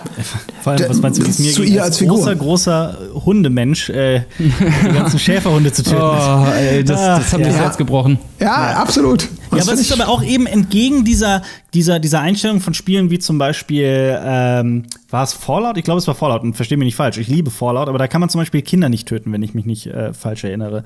Ähm, oder das gibt's ja ganz immer wieder bei Spielen, dass du, dass du tausendmal auf ein Pferd schießen kannst und es passiert nichts. Und hier hat man eben die bewusste Entscheidung getroffen, dass es eben nicht so ist. Und das sage ich nicht, weil ich irgendwie tief in mir drin das, das düstere Bedürfnis trage, alles zu töten oder, oder Tiere irgendwie zu quälen. Nein, sondern es geht halt darum, diese, diese Welt realistisch aufzubauen und Immersion zu erzeugen, Ja. das Ganze hyperrealistisch zu gestalten. Und da ist es natürlich so, dass man, dass man, dass man Schäferhunde, Wachhunde, was auch immer, äh, auf, auf, auf, die, auf die Gegner hetzt. Das ist hart, aber es ist halt dann, es verkauft mir diese Welt halt besser. Absolut. Ja. Und das gilt äh, gerade auch für alle Gegner und auch für diese Gewalt. Das ist immer das, was diese Diskussion habe ich früher auch schon ähm, gerne mal geführt. Diese Notwendigkeit von Gewalt, um auch eine gewisse Bedrohung darzustellen. Das ist ja nicht nur einfach nur, nur um, um des Schockierens willen. Aber allein wenn du mal von so einem Klicker gepackt wirst und du noch diesen einen Frame hast, wo, wo die Halssehnen rausgezogen wird und dieser angsterfüllte Blick des jeweiligen Protagonisten. Ja, das soll dir ja auch Angst machen. Das, genau das sollen die. Das soll ja nicht das Gefühl von, ah ja gut, ich bin übermächtig in dieser Situation, mir passiert nichts. Die, also ich habe so viele Momente gehabt, ähm, wo es nicht einfach nur an der Inszenierung lag, sondern an allem zusammen. Dieses im letzten Moment, weil die Geschwindigkeit gut ist, die Schrotfinte hochreißen, weil da gerade einer angestürmt kommt, der aus der Wand ist und es faucht die Shotgun auf und der fliegt noch weg und du denkst, Alter, hui, hui, hui, das war laut, das war optisch geil, das fühlte sich spielerisch so an, als ob ich es wirklich im letzten Moment noch geschafft habe. Genau wie das Ganze so Leute zurückziehen und irgendwie abmeucheln und ins Gras und huh, erstmal hören. Diese Ja, also Darstellung, Ground- ja, das Ground brauchst du Zero einfach. Ja, hat war für mich Sport. Das war so viel, wie ich geschwitzt habe da und wie, wie einfach mein, mein, also alles in mir verkrampft war. Ich habe am meisten geschwitzt ähm, tatsächlich. Das war so meine äh, meine meine meine meine Horrorliebste Stelle. Das war davor, da warst du mit Ellie kurz bevor du ähm, da musst du durch so einen Büroraum, äh, so einen Komplex, wo das erste Mal diese Schleich Schleichviecher waren. Die, äh, die, die, die immer sich versteckten. Da musstest du dich irgendwie durch so ein, der war, der war so, der war so Schachbrettartig und du wusstest nirgendwo hast du eine richtige Deckung. Es war stockduster und du musstest da irgendwie raus. Und das fand ich so gut inszenieren. Dieses Hören, die stehen irgendwo, dann rennen sie wieder weg. Das wurde so behutsam, wie in einem guten Horrorfilm. Du weißt, da ist eine Bedrohung und du denkst, ah, kenne ich schon, dann ist es aber eine neue Bedrohung. Und dann war das auch so, ich konnte das, das Muster nicht klar checken. Also ich konnte, man konnte nicht genau sagen, hier ist die Invi Invisible Line, hier kommen jetzt Ja. äh, die nächste Gruppe an, sondern die bewegen sich irgendwie dynamisch, sind wahrscheinlich auch irgendwie so programmiert, je nachdem, wo du hergehst, aber du durch, durch, durch, durchschaust es nicht. Und weil die sich so unvorhersehbar in diesem total geil inszenierten Horror-Setting mit Dunkelheit und allem bewegen und auch sich so verhalten, ist das, das ist so ganz, ganz hohe Kunst, einfach so Setpieces zu inszenieren. Und das ist nur ein viele- Beispiel von vielen. Und was viele als wehrlosig oder als schwammig bezeichnen, finde ich, wie Sebastian das auch in unserem Review sagt, auch passend. So, du bist halt nicht Supersoldat, du bist Ellie und die hat manchmal fucking Probleme und dann wird es auch mal hektisch und, und ein bisschen fummelig und äh, dann muss er halt mal mit der Machete zuhauen. Ich finde, das passt alles schon. Aber gut, ähm, Ich auch. Habt ihr vielleicht innerlich zum Spiel noch was? Sonst würde ich jetzt zu dem Punkt umleiten, ähm, was quasi um das Spiel herum passiert ist, was auch sehr viel kritisiert wird. Oder wollt ihr noch irgendwas zum Spiel nochmal loswerden? In Bezug auf die Kritik aus dem Internet? Oder auch, wenn du sonst möchtest. Feel, feel, free to say whatever you want. Nicht whatever you want, äh, aber Ach, nee, vielleicht ist das besser Okay. also als, als, als Schlussfazit. Ich würde halt lediglich nochmal ein Fazit Okay. zum Spiel Ja, abgeben. das- das wollen. machen wir nachher Ansonsten- noch Ja, okay. Schließe ich mich an. Okay, denn ähm, auch um das Spiel herum gab es ein paar Sachen, die sehr viele Leute sehr aufgeregt haben. Zum Beispiel, dass es einen Trailer gibt, in dem äh, Situationen geändert wurden. Das heißt, es gibt einen Trailer. Ähm, Im Trailer ist die Szene so, dass Ellie sich irgendwo anschleicht. Man sieht eine Hand, die ihr auf die Schulter fasst. Sie dreht sich um. Jo und Joel steht da, der alte Joel, und sagt: Oh, you think I let you do this on, the, uh, Genau, das sagt er. On your own. Was suggeriert, dass die beiden zusammen auf die Reise gehen werden. Im Spiel ist die, die Szene aber so, dass Ellie sich irgendwo anschleicht, eine Hand ist auf der Schulter, sie dreht sich um und es ist Jessie da. Eine Figur, die, ähm, ja, die die Leute nicht so lieben wie Joel, weil Joel zu dem Zeitpunkt schon lange tot ist und logischerweise auch nicht mit auf die Reise kommt.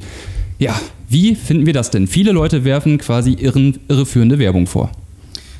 Ich, ich, ich kenne das, ich kenne die Diskussion aus dem Filmbereich. Und zwar schon seit Jahren. Und das ist vielleicht auch einer dieser Elemente, wo sich äh, Spielewelt und Filmwelt einander äh, befruchten. Ähm, das ist äh, gerade was im großen Blockbuster-Markt angeht, leider auch schon seit langer Zeit äh, gang und gäbe. Da werden oft Szenen in Trailer, ich meine, ihr wisst es ja wahrscheinlich selbst, auch aus den Star Wars-Trailern zum Beispiel, das MCU macht das, glaube ich, immer wieder. Ähm, nicht nur glaube ich, die machen das immer wieder, dass da Szenen gezeigt werden, die es dann gar nicht in den fertigen Film schaffen, die du dann nur eventuell äh, viele Monate später auf Blu-ray sehen kannst. Ja, da kann man definitiv auch mal eine negative Meinung zu haben. Ich bin da auch nicht unbedingt der größte Fan, aber auch da sage ich, im Endeffekt ist es ein, ist so ein Trailer auch, auch Werbung. Es soll eben Menschen dazu bringen, das Produkt zu kaufen. Ähm, ja, auch da, ich bin da auch jetzt nicht der Fan von, aber das würde halt niemals meine Meinung über das Spiel in irgendeiner Weise äh, verändern.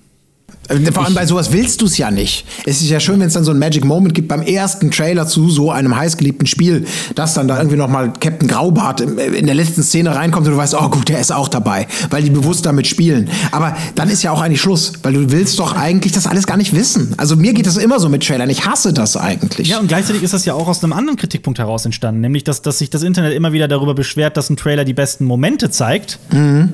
Die ja. dann im Film halt dann schon mal schon zum zweiten Mal gesehen sind. Ja. ja. ja. Ich finde es auch schwierig. Ich, ähm, wenn ich jetzt Die Hard Joel-Fan wäre, ich kann schon verstehen, dass man sich darüber ärgert dann. Also ich kann es ich kann's wirklich nachvollziehen. Ich kann aber auch auf der anderen Seite wirklich Entwickler verstehen, die eben ihre super relevanten Plotpunkte schützen wollen. Das kann ich aus, ja, aus, aus Herstellersicht auch verstehen. Ob das jetzt rechtfertigt, dass man den Leuten quasi Material zeigt, was etwas anderes suggeriert, ich finde es enorm schwer. Also ich habe da auch selbst noch nicht für mich eine Meinung, eine Finale gebildet, bin ich ganz ehrlich.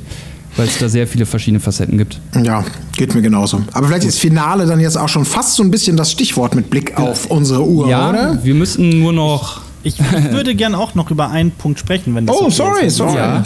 Ja. Dann quetsche ich jetzt noch meinen letzten Punkt dazwischen. Dann oh, haben wir nicht. Bitte, Nämlich ähm, regen sich sehr viele Leute darüber auf, dass Sony angeblich sehr, sehr willkürlich Kanäle gebannt hat, die sich einfach nur über das Spiel unterhalten haben. Hintergrund sind die eben schon mal angesprochenen Leaks. Es gibt zwei Seiten.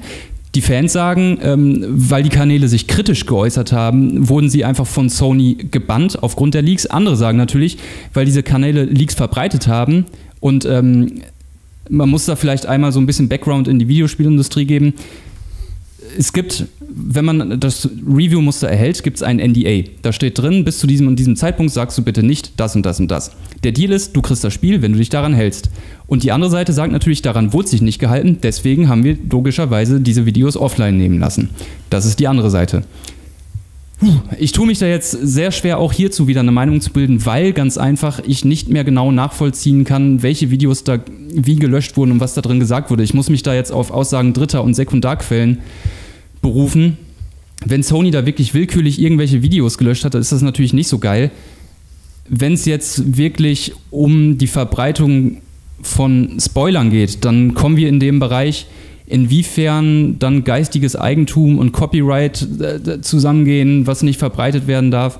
Das ist eine sehr schwierige Sache, wo man sich jetzt, finde ich, schwer eine Meinung zu bilden kann, weil es eben nicht mehr genau möglich ist, sich die Videos anzugucken. Für mich wären das wirklich Einzelfallentscheidungen und das ist jetzt halt für mich nicht mehr zu beurteilen. Also an dieser Stelle ich kann das ja mal ganz, ich hab, bin ja in einer ganz besonderen Position hier, weil ich das zum ersten Mal gemacht habe. Also ich habe zum ersten Mal vorab ein äh, Rezensionsexemplar zum Spiel bekommen. Klar, in der Filmwelt passiert das bei mir seit fünf Jahren und auch da haben wir ähnliche Mechanismen. Deswegen kann ich, also erstmal danke an Game 2, dass ihr das mir überhaupt möglich gemacht habt. Das ist ja wirklich auch nur wegen dieser Zusammenarbeit hier. Äh, also großes Dankeschön dafür. Ähm, aber ja, es ist tatsächlich so, dass man einen Haufen von äh, Bedingungen bekommt, äh, dass man sagt, bis zu dem Datum, bis zu diesem Datum werde ich mich nicht über dieses Spiel äußern kann, über, oder über die Inhalte nicht, über die Inhalte nicht, über die Inhalte nicht. Das ist eben Teil dieser Vereinbarung. Ähm, das ist aber was ganz anderes als das, was immer behauptet wird. Zensur oder in irgendeiner Weise die Meinung zu beeinflussen. Das hat damit überhaupt gar nichts zu tun. Ähm, zum Beispiel sagt mir überhaupt niemand, wie ich mich zum Spiel äußere. Sie sagen mir schon, wann ich das tue. Das ist aber eben Teil der Vereinbarung, wann das passiert. Aber was ich sage, ist halt komplett mir überlassen. Ähm, und das ist, finde ich, ein ganz, ganz wesentlicher Aspekt. Wenn ich dann diese NDA breche und vor diesem Datum bereits was äußere, dann finde ich auch, dann, dann breche ich in dem Moment meinen Vertrag, mein, meine, die Vereinbarung und dann haben, hat auch die Gegenseite das Recht, dagegen vorzugehen. Aber jetzt werden auch zum Beispiel viele werden uns jetzt auch vorwerfen, dass wir uns haben von Sony kaufen lassen, weil ich habe das Gefühl, manche Leute wollen einfach nicht irgendwie eine andere Meinung akzeptieren, sondern drücken mit Gewalt ihre Agenda, ihre, ihre persönliche Meinung durch und akzeptieren das einfach nicht und dann ist immer direkt alles gleich gekauft. Und das ist halt alles, das entspricht nicht der Wahrheit. Ja, das ist das Schlimme, aber das ist, glaube ich, da, das, da kommst du halt an so Punkte, ab einem gewissen Punkt und je nachdem, was, was die, die vorwerfende Seite, äh, wie tief die da selber drin steckt in den Vorwürfen, sage ich jetzt mal so, da bist du, kannst du irgendwann nur noch sagen, entweder du glaubst es mir oder du glaubst es mir nicht. Wenn du so verbohrt und verbissen bist und mir nicht glaubst, dass, ich meine, ich mache diesen, mach diesen Job seit 20 Jahren, ähm, man muss manchmal in diesem Fall zum Beispiel berichterstattende Einschränkungen, vermeintliche Einschränkungen in Kauf nehmen, damit man ein Produkt frühzeitig bekommt. Tatsächlich haben wir, tut man das in so einem Fall doch auch gerne. Ich meine, unser Auftrag von Game 2 und hoffentlich von den meisten Reviews da draußen ist ja nicht, Leuten das Spielerlebnis kaputt zu machen. Und genau das ist halt die riesige Gefahr bei so einem Spiel. Weil du hier, du brauchst ja nur die erste halbe Stunde aufschreiben. Oder denke an die Leaks. Was die hier, man muss sich da auch mal in die andere Position eben reinversetzen, was hier kaputt gemacht wurde an Vorfreude, was hier an, an schlechter Stimmung und sicherlich auch letztendlich mit wirtschaftlichen Konsequenzen, möglicherweise, also ähm, kaputt gemacht wird. Leute, das ist immer noch ein Kunst, künstlerisches Produkt bei Filmen oder so, da, da macht jeder einen riesen Aufschrei, wenn es plötzlich wieder heißt, übrigens Jon Snow stirbt oder so. Da haben alle einen riesen Angst davor. Jetzt werden plötzlich die Leute, die, die vermeintlich Sachen leaken, die dann teilweise auch gar nicht stimmen, was haben wir alles gehört? Abby sei, sei transgender, ähm, Ellie wird sterben. Das stimmt ja alles noch nicht mal. Die werden plötzlich quasi als Helden der Wahrheit gefeiert. Und alle Leute, die sich intensiver und umfangreicher mit diesem Produkt auseinandergesetzt haben, sind, sind gekauft. Das ist schon mal so, so, eine, so eine Schieflage, wo ich so denke, okay, du kannst dir überlegen, wen du lieber glauben möchtest. Du musst auch mir nicht glauben. Aber unser Interesse ist ja nicht, irgendjemandem was kaputt zu machen. Und bei so einem Spiel wie Last of Us 2, was so viel Kaputtmachpotenzial hat, viel, viel mehr als fast jedes andere Spiel, weil das das Epizentrum dieses Spiels ja auch ist. Figuren, Story und, und, und eine Entwicklung und, und Twists und sowas. Ich will es mir doch nicht versauen lassen. Und ich muss es auch, um das beurteilen zu können, sorry, das kommt noch dazu, du musst es halt selber erleben. Und uns, um das noch einmal dann als letztes da auch nochmal Alpa ähm, aufzugreifen, uns, wie in diesem Fall, wie bei, bei manchen Spielen gibt es das gar nicht. Also es gibt viele Spiele, die ohne NDA, ohne Embargo daherkommen, ohne, ohne Beipackzettel. Je nachdem, wie wichtig das Spiel ist, gibt es manchmal diese Einschränkungen die aber eben immer nur so, so spoilermäßiger Natur sind, ähm, was ich verstehen kann und nie irgendwie einem was vorschreiben. Äh, ja. Wenn man sich an ein NDA, NDA, hält, was uns ganz oft vorgeworfen wird, dann hat das nichts damit zu tun, dass wir uns mit irgendwelchen Publishern, äh, Entwicklern oder sonst wem gut stellen wollen, damit wir auch in Zukunft weiterhin unsere Muster bekommen. Das hat nichts damit zu tun. Habe ich auch übrigens, äh, muss ich auch noch mal sagen, habe ich in 20 Jahren auch noch nie erlebt. Es gibt sicherlich die eine oder andere unrühmliche Geschichte von irgendwo, wo vielleicht mal eine Wertung sagt, ihr, ihr kriegt eine Anzeige, wenn ihr einen neuen davor schreibt oder sowas. Hat es alles mal gegeben. Aber dieses vermeintliche im großen Stil werden hier Leute gutiert und ihre Meinung eingeschränkt, wenn sie sich auf irgendwelche Schweinedeals einlassen. Das stimmt halt alles einfach überhaupt nicht. Und das ist halt einfach Quatsch. Und nur weil wir alle die das Spiel gespielt haben oder die allermeisten weitgehend begeistert sind von dem Spiel. Das ist ja Warum sollte diese Aussage weniger wert sein als die Aussage von irgendwelchen Leuten, die am Freitag, am Tag des Releases, ähm, Hass Reviews rausposten, über deren Ursprung man zumindest zweifelhafter Natur, also man weiß es nicht, was da die Agenda ist, wes geistig Kind es ist und was der Kenntnisstand ist. Und das ist auch immer so mein Appell eigentlich an jede Diskussion, ob es jetzt darum geht oder ob man um das Coronavirus diskutiert.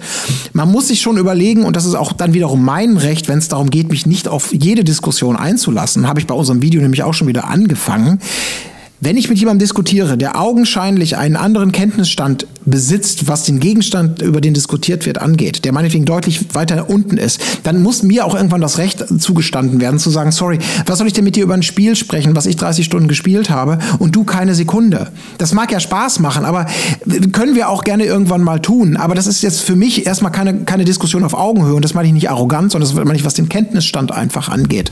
Ähm, das ja darf man auch einfach genauso respektieren als Geschmackssache oder, oder als persönliche Meinungsäußerung, zu sagen, sorry, ich, Chris, ich rede mit dir nicht über, über Flipper-Abzugsmechaniken. Selbst wenn du dazu, wenn du ein Bild davon mal gesehen hast, können wir gerne machen. Ich erkläre dir alles, was du willst. Aber wenn ich dich ernst nehmen soll und du willst sagen, Abzugmechanik A ist besser als B, dann erwarte ich von dir, dass du dich damit genauso beschäftigst oder ich zumindest einschätzen kann, welchen welchen Kenntnisstand du hast. Das genau, es gibt sehr viele Leute, die gesagt haben, ja, warum soll ich das denn das Spiel überhaupt denn noch spielen? Ich kenne doch die Leaks und das ist doch das, ja. also die Story ist doch das, worauf es bei einem storygetriebenen Spiel ankommt. Da muss ich das Spiel doch gar nicht mehr spielen da ja. muss ich leider sagen, das ist für mich dann auch keine Geschmacksfrage mehr. Nee, es kommt immer darauf an, wie etwas eingeordnet ist, wie ist es inszeniert, wie, wie ist die Musik. Da gibt es so viele Faktoren, ja. die da wichtig für die Meinung sind. Es ist ein Spiel, sind. du machst es selber. Genau, nicht was. Ja. So, ja. Also es ist kein Buch. So, ne? Da, da kommen halt noch ein paar Faktoren außer der reine Inhalt mehr dazu. Ja, und auch da kannst du, liest dir gerne die Zusammenfassung oder, oder äh, Goethes Faust eingedampft auf 20 Seiten. Ja, klar, dann weißt du, worum es geht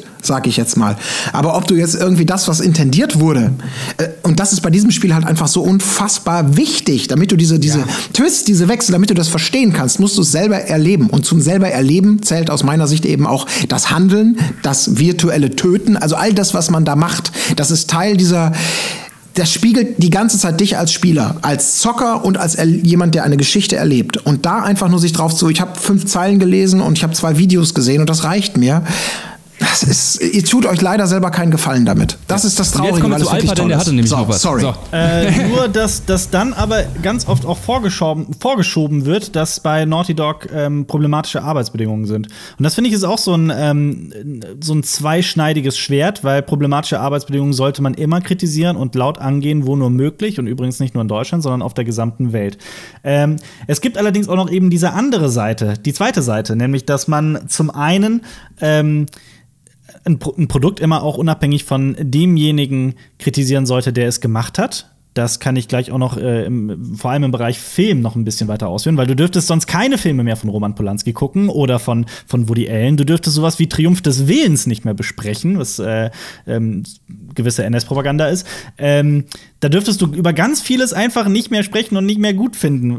Das ist halt die eine Sache. Und zur anderen Sache, soweit ich weiß, da kennt ihr euch hundertprozentig besser aus, ist das doch auch ein Grundproblem der gesamten Branche, oder nicht? Ist das nicht bei jedem größeren, also AAA-Titel so, soweit ich weiß? Ja, es kam in letzter Zeit öfter mal hoch, nachdem Jason Schreier so ein paar äh, Dinge ans Tageslicht gebracht hat und ähm, angeblich tut sich da auch in der Branche ein bisschen was, aber natürlich ist es schwierig, wenn man da nur von außen drauf schaut. Also ja, ne, wir können uns dann natürlich auch nur auf Hörensagen verlassen, deswegen ist es sehr schwer, sich da dann ein richtiges Urteil drüber zu bilden. Was natürlich, ich, also um das mal ganz klar zu sagen, wenn da Leute quasi um es mal ganz übertrieben zu sagen, in die Sklaverei gezwungen wurden, dann ist das verachtenswert. Das steht außer Frage. Ja. Es stellt sich natürlich nur erstmal die Frage, wie ist es wirklich? Vielleicht wurde hart gecrunched, aber ähm, ich kann da auch aus dem Nähkästchen plaudern. Ich kenne das auch selber. Wenn man mit Herzblut bei einer Sache dabei ist, dann will man es auch manchmal. Und das ist ein sehr entscheidender Punkt. Das können wir nicht beurteilen. Wenn Leute dazu gezwungen wurden, verachtenswert. Wenn sie es wollten, vielleicht immer noch nicht cool, weil man sie vor sich selbst schützen muss. Aber äh, dann, dann ist es schon wieder eine andere Sache. Ja. Das, so, dazu kommt nämlich noch, ähm, ich habe meinen Punkt vergessen, auf den ich hinaus wollte. das ja, aber vor allem, also vor allem, warum pickt man sich dann The Last of Us 2 als dieses eine Spiel aus, wo es dann plötzlich so ganz, ganz, ganz, ganz, ganz relevant ist? Ähm, ja, genau. ist so ein Titel notwendig, dass, dass sich was verändert, aber trotzdem. Also ja.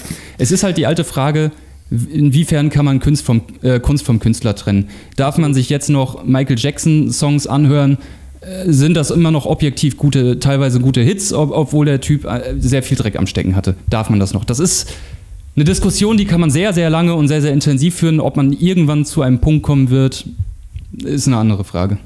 Ja. Meiner Meinung nach. Ja, haben wir ja auch schon mal drüber gesprochen, über das Thema. Ja, ist halt super schwierig, aber ich glaube, das sind auch Sachen, die man stark mit sich selbst ausmachen muss. Und bei dem anderen Thema, auch um da nochmal das zu bestärken, auch um, um deine Frage zu beantworten, Alpa, ja, das mag auch sein, dass das gang und gäbe ist, aber das ist eben das Problem. Du hast davon keine wirklich profunde Kenntnis. Wir sind da keine Experten, man kann da, die, die, die, die, die so transparent ist es nicht. Die Sachen, die da manchmal liegen, sind ja auch dann so durchaus ernst zu nehmen und oftmals sicherlich auch plausible Geschichten. Das, das, das, das kann alles sein. Aber ich tue mich da mal ganz schwer, da eine Position zu beziehen, wenn dir einfach A, der Kontext fehlt und, und Sachen, die auf Hörensagen basieren und dann plötzlich hochgepusht werden. Da sollte man zumindest auch immer mal einmal raustreten, bevor man schon mit der Fackel zur Tastatur greift, sag ich mal, und auch mal überlegen, okay, vielleicht fehlt mir da auch ein bisschen Kontext, vielleicht ist das ein bisschen ich schwer Ich habe immer so das Beispiel äh, hier Johnny Depp, Amber Heard, so ne, so ja, ähm, ähm, ne, es ging ganz schnell, dass irgendwer, dass Amber Heard sagt, ja, der hat mich geschlagen und alle hassen Johnny Depp und dann kommt raus, oh, ist ja doch irgendwie anders, dann sind auf einmal alle wieder pro Johnny Depp man das muss, es ist einfach immer sehr, sehr komplex und ich bin halt immer sehr vorsichtig, Leute vor zu verurteilen aufgrund einer Seite. So, Die Heugabeln sind schnell ausgepackt. Ne, ja. ja. genau. Und das, ja. ich finde es einfach immer schwierig. So. Ja. Ja. Absolut, aber wie gesagt, wenn man zum Beispiel auf das The Last of Us 2 Reddit geht und da sich teilweise reinzieht, wie die Arbeitsbedingungen kritisiert werden, scheinbar, um aber in Wahrheit eine ganz andere hasserfüllte Botschaft äh, loszuwerden, die teilweise sich noch im selben Satz abspielt. Ich spreche gerade ein paar ganz, ganz, wirklich ganz explizite Kommentare an, die äh, auf Reddit teilweise ganz hoch äh, bewertet sind. Ähm, dann finde ich, ist das halt nicht mehr okay. Aber ja. wie gesagt, das ist eine wirklich eine bodenlose, ellenlange Diskussion, die ja. in ein ganz andere Sphären führt. Genau, aber das Crunch ist nicht gut. Ja. Das, so. ja. Genau, und das ist, glaube ich, aber würde ich jetzt auch sagen, letzte Botschaft dazu. Das ist genau das, was du gerade gesagt hast, Alper. Man muss da manchmal so ein bisschen genauer hingucken und, und überlegen, inwieweit manchmal vermeintliche Argumente oder, oder Scheinargumente gebracht werden, um eigentlich was ganz anderes voranzutreiben genau. oder so. Ne? Das ist so, ich meine, ihr könnt uns, wir können 200 Mal sagen, wir sind nicht gekauft ähm, und wir machen das nach bestem Wissen und Gewissen unseren Job hier, weil wir Freude dran haben und nicht, weil wir dafür irgendwie von irgendwem Geld zugestickt bekommen würden oder weiß der Teufel, unter welchen Regeln, die unlauter sind, arbeiten. Ähm, klar, das ist das Problem. Da gibt es dann genügend Leute, die dann auch sagen, ja, klar, wer will denn bitte schön äh, ihm denn glauben, der hier selber äh, über die öffentlich-rechtlichen im weitesten Sinne über Videospiele berichtet? Klar, ne, öffentlich-rechtlich. So, so kann man, das will ich das nächste Thema eben aufmachen damit, aber ähm, ich das ist manchmal, du hörst sehr, sehr, sehr schnell, wenn du sagst, eigentlich will ich über Pfandflaschen reden, aber eigentlich rede ich gerade über die Flacherde. Aber ich, ich komme mit Pfandflaschen in die Diskussion rein und denkst, okay, worüber, na, Vorsicht. Okay, ähm, ich sag mal abschließend, ähm, ich, ich, wir haben schon viel geredet. Ich sage mal einfach, glaubt keinen Leaks, macht euch selbst ein Bild. Das ist nämlich das, was zählt. Auch wir haben jetzt teilweise sehr, sehr energisch und emotional unsere Meinung gesagt. Aber ich kann es nur noch mal betonen, wenn ihr anderer Meinung seid, dann soll euch das gegönnt, nur sagt es eben ordentlich niemand ist ein schlechterer Mensch oder muss sich persönlich angegriffen fühlen, weil er jetzt eine andere Meinung hat. Es, es, mag manch einen überraschen. Es kann mehrere Meinungen auf der Welt geben. Es gibt nicht nur eine. Nur mal so als Hinweis. Und mehr möchte ich dazu dann auch an dieser Stelle gar nicht mehr sagen. Das ist schön. Ja. Ja, ey, ohne Scheiß, es kotzt mich so. Ich werde so nein, nein, nein, nein. Haben wir nicht ne? gerade noch gesagt, haben wir nicht gerade noch gelernt, andere Leute Meinung zu respektieren, mein Lieber? Nein, du ja, hast es aber was habe ich gesagt? Wenn sie ordentlich vorgebracht. Ja, ich weiß, was du meinst. Ich kenne ja, ja, das. Ich bin ja auch schnell am, am schnell am impulsiv gebaut. Ja. Sag ich mal, Alper, du bist ein ganz entspannter, ne? aber bei Filmen habt ihr das ja auch nicht. Ne? Ach, da kleben die an euren Lippen und sagen, was er sagt, ist nee, richtig. Die Branche ist ich doch von Liebe geprägt. Du, wenn ich, wenn ich, äh, du hättest mich mal nach, wenn ich Emoji-Movie zum Beispiel sehen muss, dann bin ich auch alles andere als entspannt. Gut, äh, wer möchte denn als nächstes? Komm, machen wir erst Colin und das Highlight, den Gast heben wir uns zum Schluss auf. Äh, was jetzt, das Spiel jetzt meinst du? Ja, genau, wenn du nochmal, wir haben ja gesagt, wir wollen alle nochmal kurz ein ähm. kurzes Fazit über die ganze Sache ziehen. Spielt es selbst spielt dieses Spiel, macht euch eine eigene Meinung. Ähm, ich ich fand es toll, es war für mich ein emotionaler Ritt. Ähm, es ist in vielerlei Hinsicht so weit vorne technisch, ähm, was Storytelling, Charakterbuilding angeht und so. Ich, war, ich bin gar nicht der größte Fan vom ersten Teil gewesen, aber der zweite hat mich echt völlig, völlig in seinen Bann gezogen. Er hat ein paar Längen, aber in jeder Hinsicht ist dieses Spiel, in jedem Detail ist es so, so verliebt und, und äh, wurde so viel Mühe reingesteckt und es ist eben nicht nur Blockbuster Bum Bum, es ist auch total leise. Es ist ein Spiel, gebt dem Spiel eine Chance, auf euch zu wirken und es zu spielen. Weil, wenn man etwas dem Spiel nicht vorwerfen kann, dann ist es, dass es irgendwie hingeschludert oder billig oder äh, da haben sehr, sehr viele Menschen mit guten Ideen und viel Talent sehr, sehr, sehr lange dran geschraubt, um wirklich in so fast, auf fast jedem Level irgendwie etwas zu perfektionieren oder vielleicht teilweise auch neu und ungewöhnlich zu machen. Äh, super langes Fazit, aber für mich bisher, ich glaube, das Spiel, was mich in diesem Jahr bisher am meisten begeistert hat. Dankeschön, Colin, und damit zum Gast. Alper. Das Spiel hat mich betroffen gemacht. Es hat mich in seinen Bann gezogen. Es hat mich vor den Fernseher gefesselt. Ich wollte in den, in den ruhigen Momenten konnte ich die nächste Actionsequenz kaum abwarten. Und in den Actionsequenzen habe ich die ganze Zeit darum gebetet, dass es endlich aufhört, dass es wieder in einen ruhigen Moment übergeht. Und das meine ich als größtes Kompliment, weil ich einfach immer mehr von diesem Spiel wollte. Ich wollte wissen, wohin diese Rachsucht äh, die Figuren führt. Ich äh, konnte mit Ellie mitfiebern. Ich konnte aber auch sehr, sehr, sehr, sehr gut mit Abby mitfiebern. Also bin ich teilweise auch, äh, ich bin total begeistert von dieser Mammutaufgabe, die sich Naughty Dog, Neil Druckmann und so weiter da gestellt haben. So von wegen, wir lassen die, diese, diese Figur, um die es geht, Joel, diese geliebte Figur, wir lassen sie nicht nur umbringen, sondern wir sorgen auch dafür oder wir versuchen, dass, dass der Spieler auch noch versteht, warum der, warum Abby das getan hat. Und das finde ich ist so eine, ist so eine Geschichte, die wird nicht oft erzählt. Und das hat auch einen guten Grund. Es ist eine Geschichte, die nur sehr schwer möglich ist zu erzählen, weil man da emotional ganz, ganz schnell festgefahren ist als Spieler. Aber ich finde, Sony hat da, also nicht Sony, aber Naughty Dog und Neil Druckmann und Haley Gross haben dann einen ganz, ganz großartigen Job geleistet. Und ich bin auch im Großen und Ganzen sehr begeistert von dem Spiel. Ja, ich sehe auch ein, dass es seine Makel hat und dass es seine Schwächen hat, aber ich finde, die sind so, das ist so der kleine Teil. Die Stärken überwiegen bei weitem. Aber Gut. spielt selbst, genau wie Colin gesagt hat. ja, dann würde ich sagen, haben wir noch was? Nö, kommen wir zum Ende, oder? Ja. Ja, gerne. Gut, dann würde ich sagen, weißt du, ich betreibe jetzt Meuterei und ich entreiße jetzt das Steuer, Colin. Mach das. Ich verabschiede mich bei allen, die zugeschaut haben. Vielen Dank. Schreibt gerne in die Kommentare, was ihr ja davon haltet. Aber das sagen wir euch ja gleich nochmal. Deswegen sage ich jetzt einfach nur auf Wiedersehen. Ich würde aber auch noch gerne unser Special bewerben, wenn das Die Endcard kommt noch. Wir machen das, das kommt noch in der Endcard. Wir fahren jetzt einen geilen Bumper. Jetzt kommt ein Bumper in 3, 2, 1 und das ist die Endcard. 3, 2, 1. Alpa, jetzt sind wir in der Endcard. Jetzt, Sorry, was habt ihr? Habt doch ich dachte, so, jetzt Video. ist Endcard. Deine Chance, unsere Endcard zu moderieren. Äh, Cinema Strikes Back, unser Kanal. The Last of Us 2, ist das noch ein Spiel oder ist das schon ein Film? Äh, super spannendes Video auch mit euch. Danke, dass ihr da zur Verfügung standet. Checkt das unbedingt aus. Ja, viel Spaß ja. damit und natürlich auch Spaß mit den weiteren äh, auf diesem Kanal. Und wenn ihr immer Spaß haben wollt, die Glocke abonnieren, kommentieren und ihr ach, kennt das. Ich sag's einfach nur fürs Protokoll. Äh, macht's gut. Tschüss. Auf Wiedersehen.